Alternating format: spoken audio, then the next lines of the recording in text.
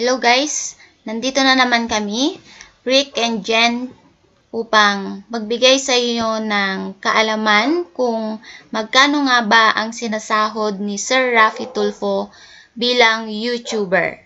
So guys, tapusin nyo itong video na to at huwag kalimutang mag-subscribe at i-click ang notification bell para ma-notify kayo sa mga susunod na mga uploads namin.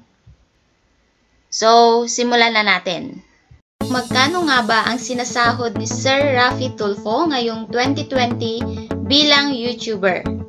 Marami sa atin ang nakakakilala kay Sir Rafi Tulfo at sa mga hindi nakakakilala, siya po ang Filipino broadcast journalist na kung saan ang kanyang trabaho ay nakafocus sa government and private sector issues. So kung kayo ay mahilig mag-YouTube o kung anak nyo, kung ang anak nyo ay mahilig mag-YouTube, I suggest na gumawa na kayo ng YouTube channel ninyo kasi I think ito yung pinakamadaling paraan para kumita. So bago natin alamin kung magkano ang kinikita ni Rafi Tulfo sa kanyang channel ngayong 2020, bisitahin muna natin ang kanyang YouTube channel. So punta tayo sa youtube.com. Okay, hintayin lang po natin. Naglo-load lang po siya.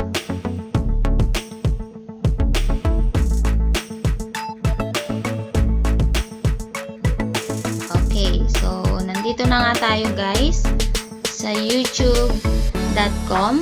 I-type lang natin ang kanyang YouTube channel.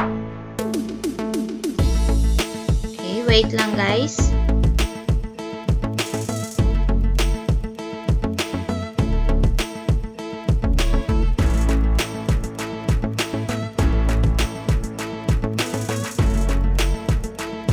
Okay, so ayan guys. So i-type natin ang Rafi Tulfo.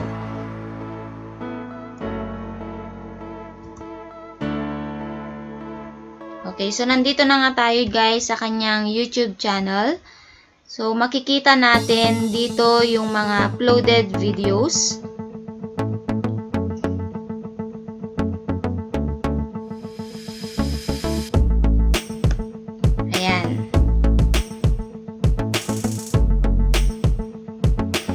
So ito yung mga sample uploaded videos niya. So kung mapapansin natin guys, halos lahat ng kanyang mga uploaded videos ay million views.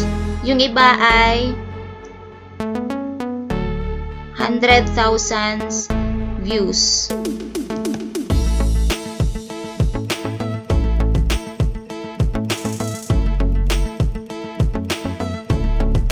Ayan. So ang kanyang subscribers ay 9.3 million.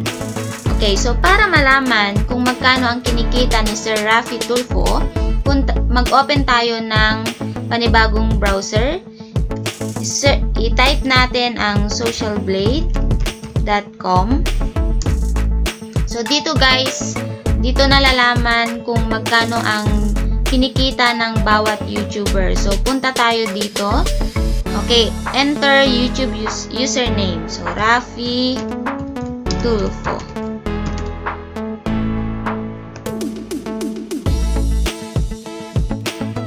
Tayin lang natin, guys. Okay, so, eto na nga, guys. Nandito na tayo sa kanyang Social Blade. Makikita natin dito na create niya yung kanyang account noong April 20, 2016. Ibig sabihin, mag-aapat na taon na siyang nag-upload ng kanyang mga videos dito sa kanyang YouTube channel. So, dito makikita natin na siya ay pang fourth pagdating sa Pilipinas. Ibig sabihin, siya yung may pinakamalaking kita or pang-apat na may pinakamalaking kita dito sa Pilipinas sa kanyang pag-YouTube. So, ito na nga guys, yung pinakahihintay natin na malaman kung magkano nga ba ang uh, estimated monthly earnings niya at ang kanyang estimated yearly earnings. So dito, makikita natin na ang minimum na pwede niyang kitain sa loob ng isang buwan ay 64.9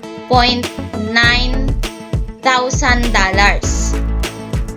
At ang pinaka-maximum naman ay 1 million dollars. So, kung i-convert natin ang 64.9 thousand dollars into peso,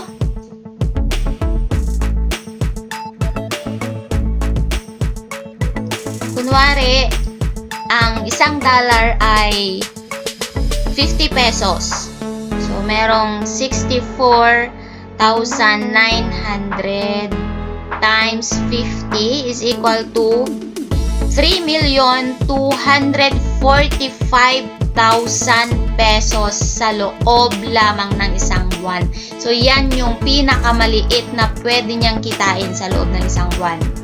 At ang pinakamalaki naman, 1 million. So, 1 million times 50, for example, is equal to 50 million pesos. Yan yung maximum na pwede niyang kitain sa loob lamang ng isang buwan. So, napakalaki guys ng kinikita pala ni uh, Sir Rafi Tulfo sa pag-YouTube.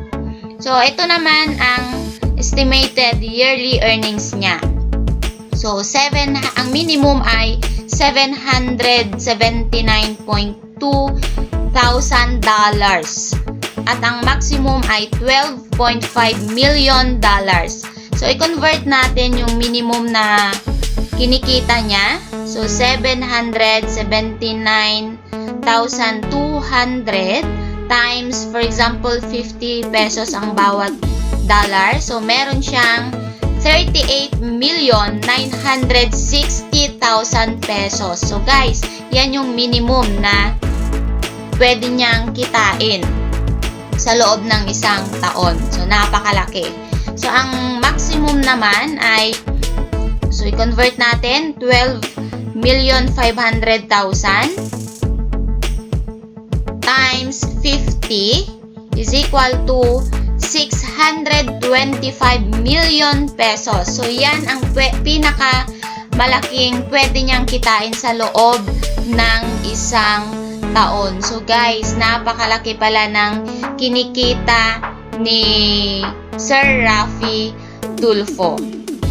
So, pero yun guys, yung sinabi ko sa inyo, inuulit ko nga, estimated earnings niya lamang yon So, ang talagang nakakaalam kung sino yung or kung magkano yung kinikita niya ay of course si Sir Rafi Tulfo.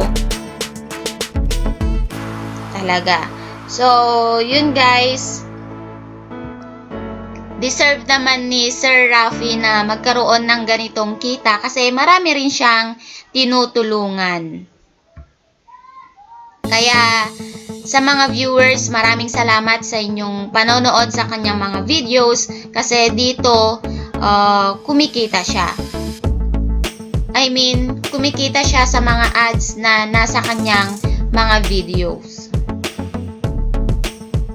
Yun lamang guys, yung maisi-share ko sa inyo na data base dito sa Social Blade. So, thank you so much for watching. Sana hindi kayo magsawa na panoorin ang mga videos na ina-upload ko. At kung kayo ay na-inspire sa binigay kong data, kung kayo ay na-inspire sa uh, sahod ni Sir Rafi Tulfo, paki-click naman ang subscribe button at huwag kalimutang i-click ang notification bell para ma-update kayo sa mga related videos na ia-upload ko pa soon. So, hanggang sa muli.